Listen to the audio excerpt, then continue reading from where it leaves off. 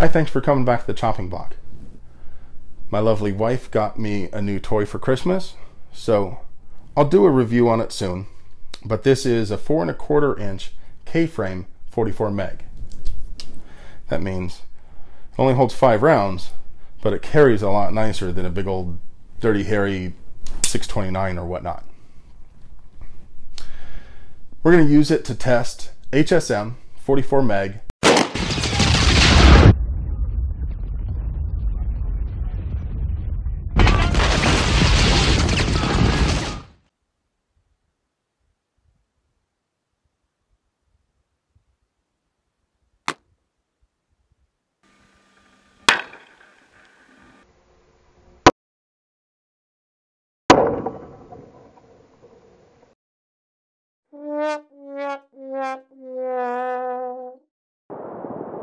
So I'm not sure how to take this.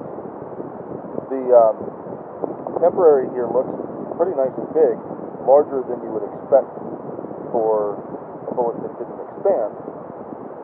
And you can see the spiraling here that we usually only see when a bullet's either yawing and still turning pretty good or has expanded.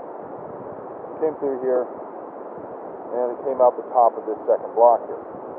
Now my friend said that it landed on the ground right over here.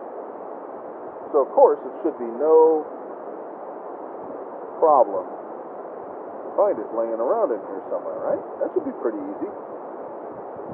Well, we'll look for it, but no promises.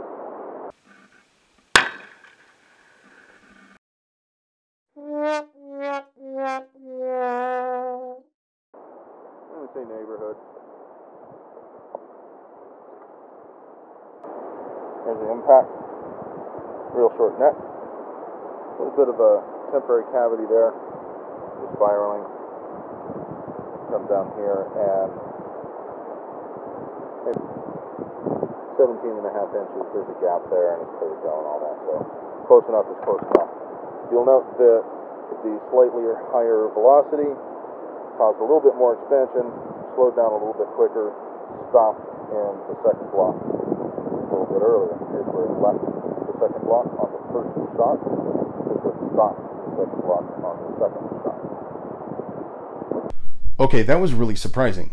Super weak sauce. Um, the felt recoil was obviously way less than 44 Magnum ought to be. I could tell immediately when I fired that first round that it was well under what I expected. The velocity may be a bit much for 44 special, but way lower than you would expect for real, real 44 Magnum. That said, it did expand. It did penetrate adequately. Uh, it is suitable for defense by the metrics, but not what we would expect from 44 Magnum. Maybe a decent load for the trail if you're in a place where you don't expect really big animals.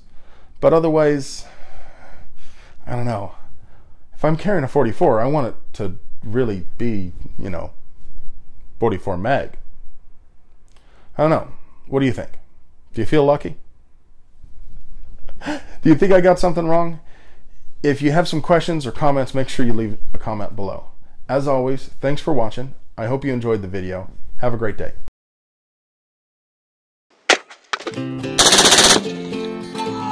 Oh, you got